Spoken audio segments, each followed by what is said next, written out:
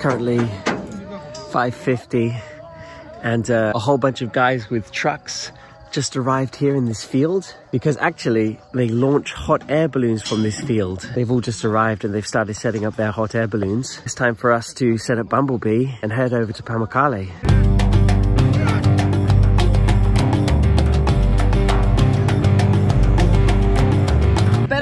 Here. Yeah, these guys are really starting to set up around us. So what do we do? We're just gonna swing it back so we can get get that way.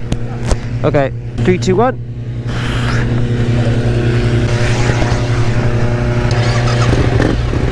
All right.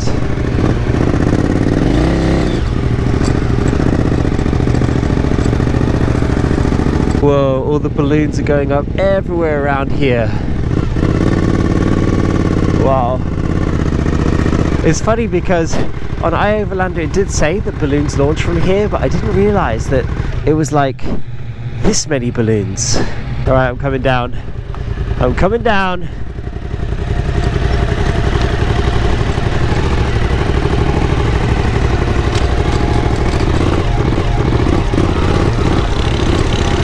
Whoa, this is a crazy scene. Okay, this is the steepest bit, but it looks all right.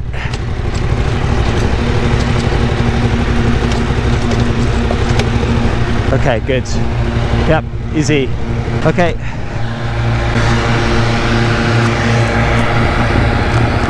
Okie dokie. Look, this car now. Yeah, I'm gonna see if I can get past them. Wow, is this a busy place? Insane.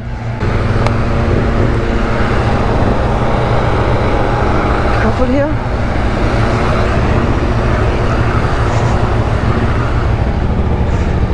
Yeah, they don't leave a lot of room, do they? Oh, coffee van. it's like Cappadocia all over again, hey? Yeah, I think Turkey is really famous for, for balloon rides. Yeah.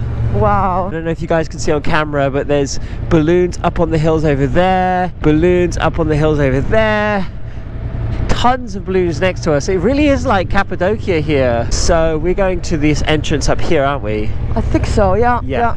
It's crazy that this park opens at 6.30. The sun hasn't even risen. Oh no. Look, it's busier. Yeah, but not compared to yesterday though. There's like a million tour buses here. Oh, Oh, my yeah. god. Whoa, there's a whole crowd of people here as well. Yeah, look, there's only a couple of vehicles. Yeah. Bye, Bumblebee. So we were camping yesterday and we actually forgot to charge our vlogger. We are vlogging with at the moment. So we've got a power bank connected. That'll have to do. yes. anyway, we made it. Yes. I can see the balloons already.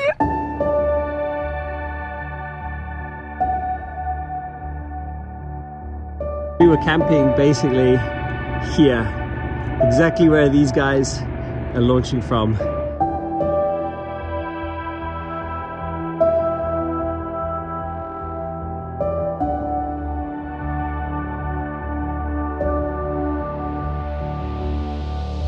Thank you so much. Bye.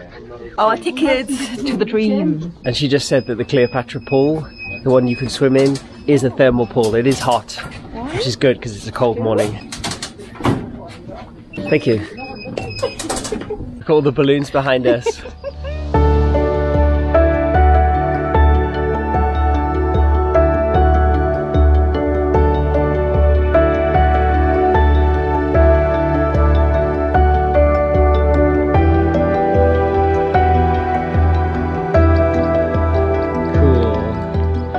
Good morning world. Welcome back to our Guinness World Record attempt to become the youngest pair to circumnavigate the globe by motorcycle. We are here in Pamukkale, which is also the ancient Roman city of Hierapolis. And an awesome place to fly some air balloons, like you can see here.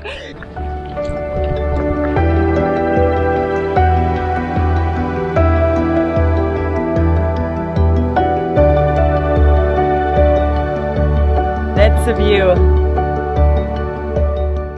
Absolutely amazing. The balloons are just passing right over the thermal pools.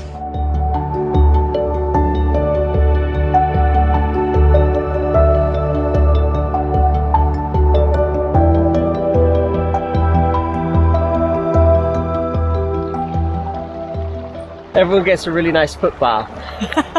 So this is Pamukkale, meaning cotton castle in Turkish, and you can see why. This is the carbonate mineral left over from the thermal spring water that flows from the edge of this mountain. But Pamukkale is not this area's original name. This used to be Hierapolis, an ancient Greek city founded around this thermal spa. So we are bathing in the same waters as the ancient Greeks and Romans. People have been coming here to visit this thermal spa since the second century BC. And that's why the pool that you can actually swim in on this site is called the Cleopatra pool because Cleopatra was here. We are going to be bathing in the same waters that Cleopatra bathed in.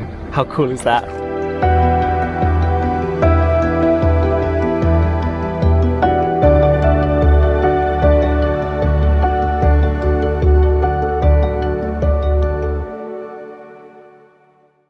I didn't even know the balloons would be here. It's the best surprise for today, really. That's crazy. It's a beautiful place, but it does really hurt the feet to walk on this. I think every single person who's walking this trail here has foot pain afterwards. it's like therapeutic. and look, we've got the sunrise behind us. It was early. it was an early start. We just went to the Cleopatra pool and uh, it doesn't open until 8. so instead, I'm going to tell you guys a little bit about the ancient city of Hierapolis. So the ancient Greek city of Hierapolis was founded on the top of this, what they call a travertine, the thermal springs, and it has been a thermal spa since the second century BC. Originally, Antiochus the Great sent 2,000 Jewish people to this area, but eventually the Jewish population grew to 50,000. Hierapolis became famous as a healing center where doctors used the thermal spring water to treat their patients. It's unclear whether the name is in reference to the goddess Hera or whether it's Hierapolis, meaning holy city. And the ancient ruins today, as well as the travertines on the edge of the hill, became a UNESCO World Heritage Site in 1988.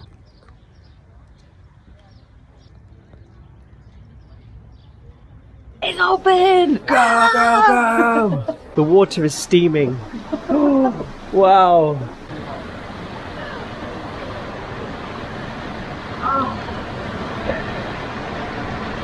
That's so nice. Oh. Is it warm? It's beautiful warm. Wow.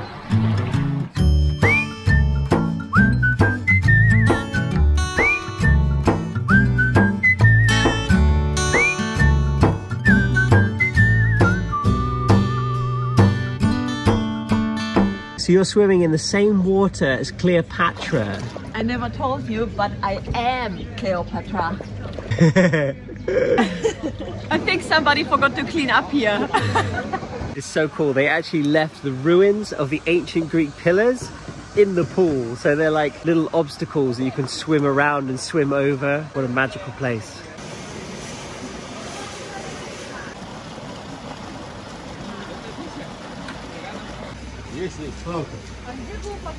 How was that? I feel like a new human. Wow.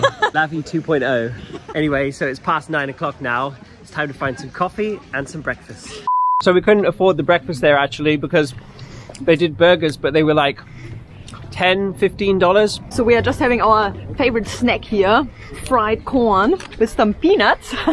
That's the breakfast of champions.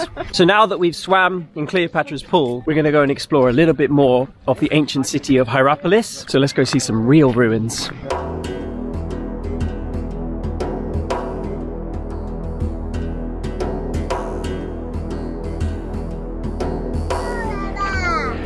Oh wow, look at that.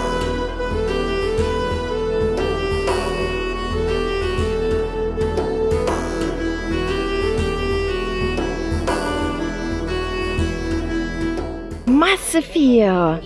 Absolutely massive. Do you think they had like like fights down there as well? They would have had probably tigers and lions coming out of there. uh, exactly. They might have been gladiators here. That's super impressive. Wow, I didn't expect that.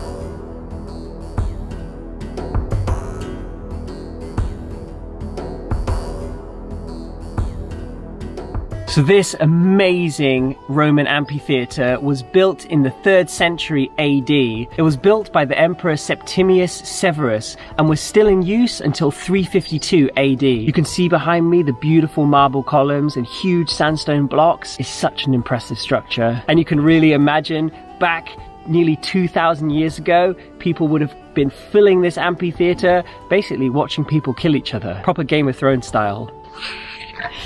Scary. It's just amazing that 2,000 years ago, they were already this advanced. They had a super advanced system of aqueducts in the city. They had thermal baths that you could bathe in. They had amazing amphitheaters for entertainment.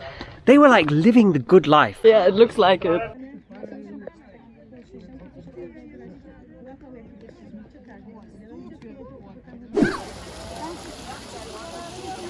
Guys, can I just say, when you visit an attraction, get there early. Look at this place now. It's crazy how different it is. I'm so glad that we actually waited and didn't go yesterday afternoon and that we had this place literally for ourselves this morning with the balloons in the air. It was so magical. Sometimes you have to be a little bit more patient. Yeah, and sometimes you have to wake up early Yeah. and then you get a good reward. yes. The water was poured pouring up here. The color of this rock, rock strong is the normal rock. Bye bye, Pamukkale. All right, that's enough ruins for today. It's time for our real breakfast. Actually, we don't have much. We just have. Is that it? Oh no, it's just at the end of the bread. Saya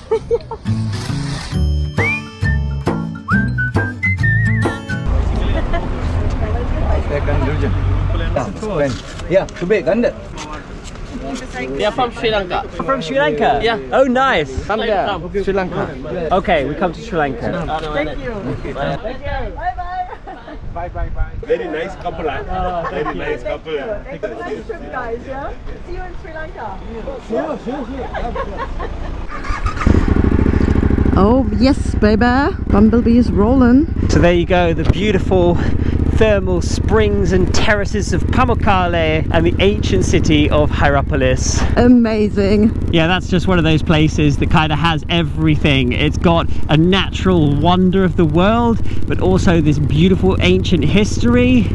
I was super impressed. Yeah, I mean, this is like really one of the places you have to visit in your life because there's so much history and you kind of can connect with the people. You know, you're like, yeah, man, they enjoyed their time as well. Yeah, we basically lived the life of an ancient Roman citizen. Yes. we went for a dip in the thermal baths and then we went to the amphitheatre. Except there was no show on for us, nobody killing each other, which was a shame. I can kill you if you want. Did you guys hear that? That is domestic violence. That is verbal domestic violence. So now it is quarter past 12. We have packed a lot into our morning, but it's time to hit the road. Bye bye, beautiful place. And our next destination is Turkey's largest city, Istanbul, You. and the bridge that will cross the Bosphorus Strait into Europe.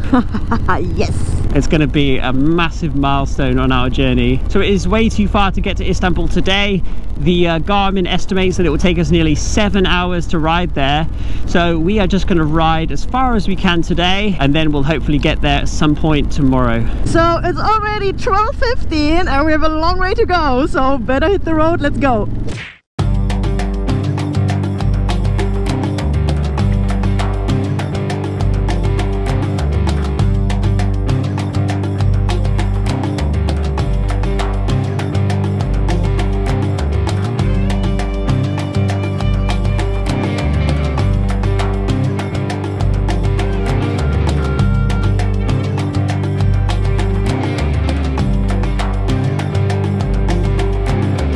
Our future motorbike. I have no idea where this motorbike's from, but it's a 100cc. It's called Salcano Tiger. How cool does that look?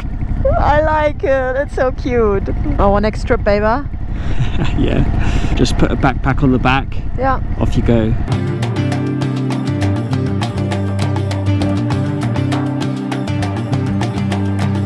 It's time for lunch, and I saw a sign here that said they have doner. Oh, what? Yes. Whoa, Tur- Turkish delight. Okay. She likes it. Whoa, look at the amount of sausages they've got here. Whoa. This is susuk. Susuk.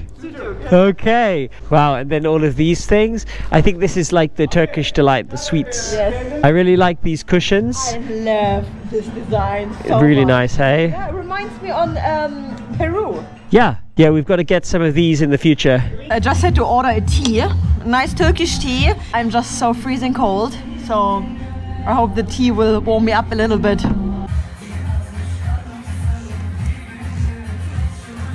Whoa, look at this. That looks good. Oh, and it's so warm and hot and nice. Oh,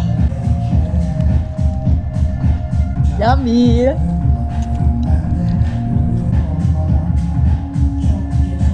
Forty-two thousand nine hundred and ninety-nine point nine. We just hit forty-three thousand miles on the road.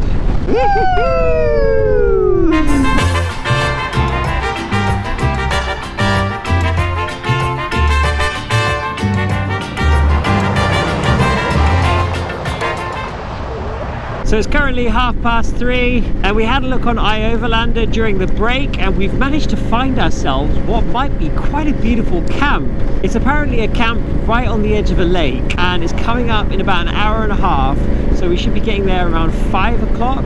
Yeah, that will be absolutely perfect. Yeah, and then that puts us only three hours from Istanbul, which means we can cross the Bosphorus Strait and we can cross into Europe tomorrow. Yeah. See if you can touch him on the nose. Oh, oh What is on your nose, hey? probably poop. Probably poop, hey? You have all poop on your nose. We just stopped here at the petrol station and look what they have. Oh, do you want some grass to feed them? Thank you. Oh, oh, they like it. Don't let them chew your fingers. Hello. Hello. Oh, no, so cute. you are the goat queen. Hello. Whoa. Hello. We've got a little motorcyclist here. Hello.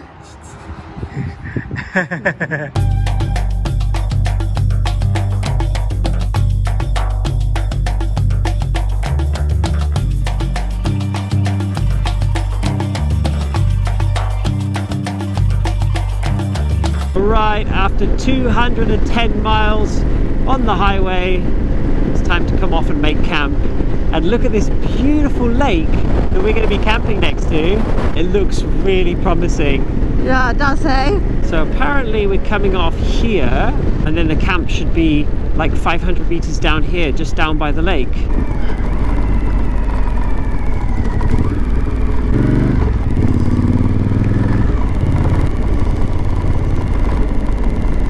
Look, here's some locals Yeah. sitting out.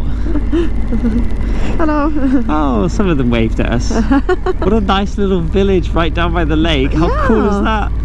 That's charming, eh? Yeah, super charming. So, the area is basically just a, this grass area down here. Okay, Yeah, I mean, this looks really nice. it does. I mean, there's lots and lots of poop on the floor though. but I if we can find a spot without poop, then I think it's lovely. Or over there, Oh, right down by the lake. okay. What do you think? Should we go down there? You could check it out. This looks really peaceful here though. Oh, it does. Look at this, there's just some does. cows chilling. Magical. An abandoned building over there. Absolutely magical. Oh, maybe there. Oh, maybe I can actually go down and then across. Let's have a look around here. Wow, look at this place. It's really, really nice. Very peaceful. There's too many spots to decide. Too many spots Because it looks quite flat up there as well. No? over there. Okay, let's go check it out. Okay, uh, it looks okay.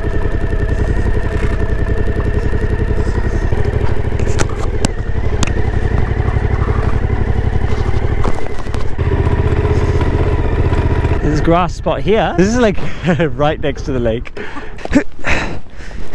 this looks really good. Does it feel wet? No. No. There we go then, look at that. Right on the edge of the lake. Nice. What a spot. Wow, beautiful. Very cool.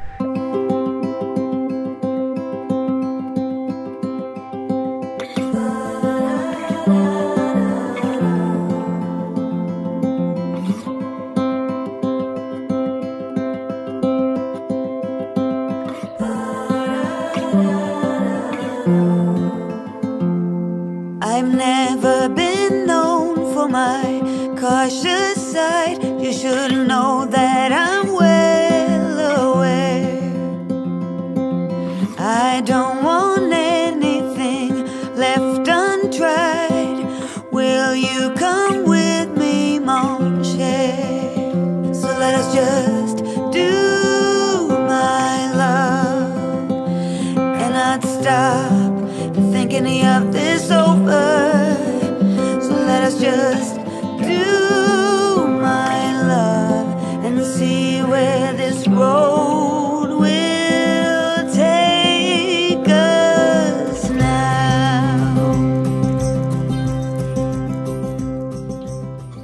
evening, guys. We made it. Happy and alive. You. A beautiful lakeside camp just for us. And it was another crazy sunrise to sunset day today.